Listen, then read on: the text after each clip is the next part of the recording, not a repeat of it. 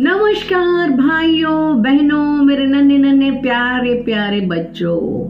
कैसे हैं आप? आज आपकी दादी, नानी फिर हाजिर है रामायण में से आपको एक नई कहानी सुनाने के लिए। पिछले एपिसोड में हमने देखा कि किस तरीके से जिस भी पत्थर को नील और नल छूते हैं, वो तैरने लग जाता है। लेकिन जुड़ता नहीं है। तब हनुमान जी कहते हैं कि पत्थरों पर राम नाम अंकित करिए, राम की महिमा को जानिए। तो पत्थर सच में जुड़ जाते हैं और राम की कृपा से सेतु बन जाता है। समुद्र पर सेतु बन जाने के पश्चात राम जी हनुमान की पीठ पर, लक्ष्मण जी अंगद की पीठ पर बैठकर सेतु पर होते हुए विशाल सागर पार कर लेते हैं। पूरी सेना भी सुग्रीव के नेतृत्व में लंका पहुँच जाती है। इस सेना के पहुँचते ही राक्षसों में हलचल मच जाती है। उनको याद आता है कि एक बानर आया था जिसने लंका को जला दिया था। उनके अंदर डर है। उधर रावण शुक और सारन को बुलाकर आदेश देता है कि राम वानरों की सहायता से सेतु बांधकर लंका के द्वार पर पहुँच गया है। तुम वानरों का वेश बनाकर शत्रु की सेना में घुस जाओ और उनकी पूरी शक्ति का पता लगाओ। वे दोनों शुक और सारन वेश बदलकर वानर सेना में घुस जाते हैं लेकिन विभीषण जी की नज़र से बच नहीं पाते। उन्हें राम के सामने पेश कर दिया जाता है। राम तो करुणाशील हैं, राम तो दया निधि हैं। उनको देखकर पूछते हैं तो वो कहते हैं कि राजभक्ति के कारण से हमें ऐसा करना पड़ा है। राम जी उनकी सच्चाई पर बहुत प्रसन्न होते हैं। कहते हैं कि आपने जो भी जानना है जान लीजिए।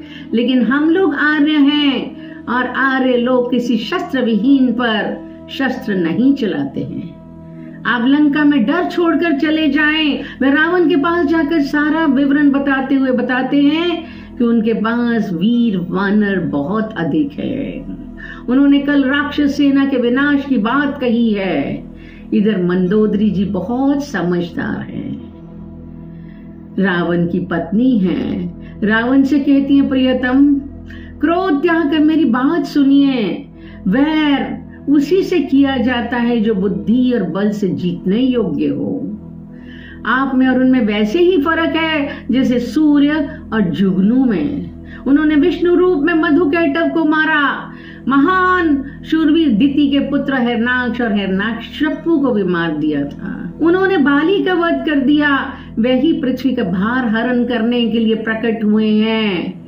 आप तो उनकी शरण में जाकर सीता जी को सौंप दीजिए और पुत्र को राज्य देकर वन में चले जाइए और राम का भजन कीजिए।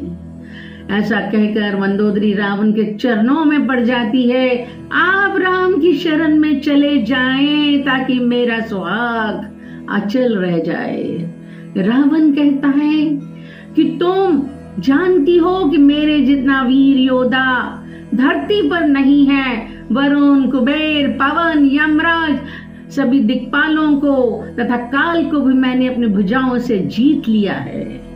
देवता, दानव, मनुष्य तो मेरे पूरे वश में है। फिर तुम क्यों डरती हो? मंदोदरी समझ गई कि काल के वश में होकर ही रावण अभिमान में आ गए हैं और ऐसी बातें कर रहे हैं। रावण सभा में आकर मंत्रियों से पूछता है कि शत्रु के साथ कैसे युद्ध करना है? मंत्री चापलूस हैं। कहते हैं, ऐसा कौन सा भय है? मनुष्य, वानर और भालू तो हमारे भोजन है। मंत्रियों की बातें सुनकर रावण का पुत्र प्रहस्त हाथ जोड़कर बोला, ये सब मंत्री खुशामद कर रहे हैं पिताजी। सिर्फ़ बातों से पार नहीं पड़ेगी। एक ही बंदर समुद्र लाग कर यहाँ आया था। क्या तब तुमको भूख नहीं थी? तुमने उसको क्यों नहीं खाया? जिसने खेल खेल में समुद्र बंधवा दिया, सेना सहित सुबेल पर्वत पर डेरा लगा लिया, क्या वह साधारण मनुष्य है? हे तात मेरी बात गौर से सुनिए।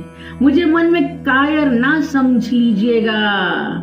आप नीति सुनिए, पहले दूध भेजिए, फिर सीता जी को भेजकर राम से मेल कर लीजिए। यदि वे पत्नी को लेकर चले जाते हैं तो बिना मतलब से झगड़ा नहीं करना चाहिए। और नहीं माने तो डटकर युद्ध भूमि में मार काट करें।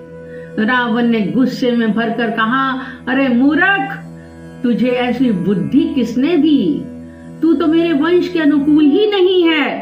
पिताजी के कठोर वचन सुनकर प्रहस्त भी अपने घर, चला जाता है।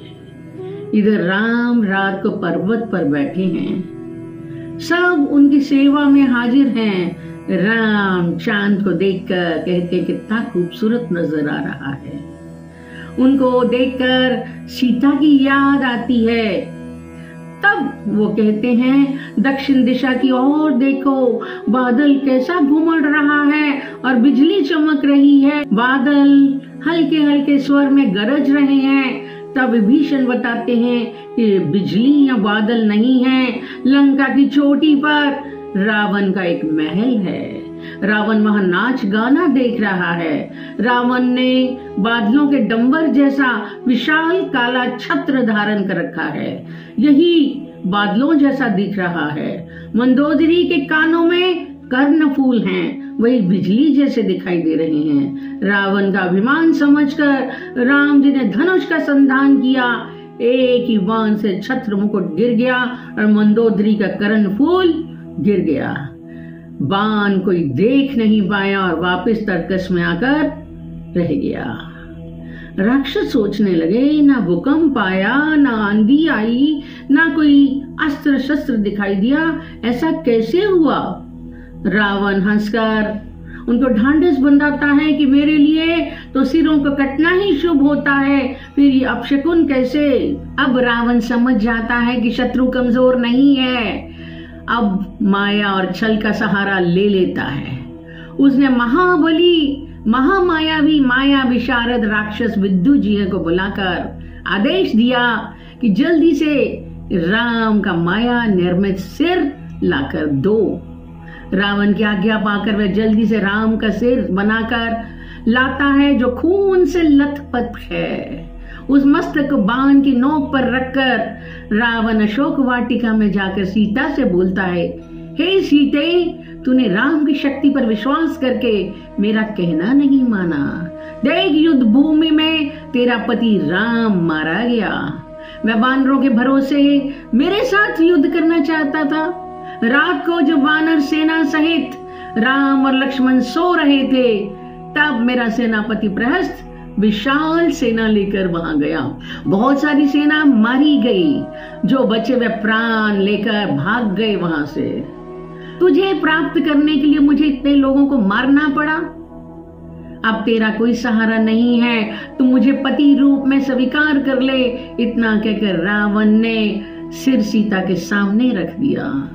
जब सीता ने देखा कि मस्तक की आकृति मुद्रा हूबहू राम से मिलती है। अब सीता बिलक बिलक कर रोने लगती है और धरती पर मूर्छित होकर गिर पड़ी। वापिस होश में आई, फिर रोने लगी। आज मैं विधवा हो गई। आप मुझे किसके भरोसे छोड़ गए, प्रियतम? मैं रो रही हूँ और आप मुझे चुप भी नहीं करा रहे। ऐसे निर्मोही तो आप कभी भी थे ही नहीं। आपने कहा था, आप मुझे अकेला नहीं छोड़ेंगे। परंतु आज अकेला छोड़कर चले गए। हे नीच रावण, तूने उन दोनों भाइयों को तो मार दिया। अब मेरा सिर भी काट कर अपनी कृपान की प्यास बुझा ले। तलवार उठाकर अपना काम कर ले। उसी समय के राक्षस ने आकर रावण को सूचना दी कि मंत्री प्रहस्त आपसे अभी मिलना चाहते हैं। अब रावण सिर लेकर चला जाता है। तभी विभीषण की पत्नी सूचना पाकर अशोक वाटिका में आती है और सीता जी की मूर्छा दूर करके समझाती है कि रावण ने जो तुमसे कहा है, वह सब झूठ है। ये सिर्फ़ माया से बनाया गया है। तुम भूल गई कि लक्ष्मण दिन रात राम की सेवा में हाजिर रहते हैं तो फिर कैसे सिर उनका काटा जा सकता है? राक्षसी सेना युद्ध के लिए तैयार हो रही है। यदि राम और लक्ष्मण मर गए होते तो ये तैयारी किसके लिए होती? अब सीता जी समझ जाती हैं कि रावण उन्हें पाने के लिए इस हद तक भी गिर गया। जो महापंडित कहलाता है अब महापापी बन गया। अगले एपिसोड में हम अंगद को रावण के दरबार में मिलेंगे। जय श्री राम!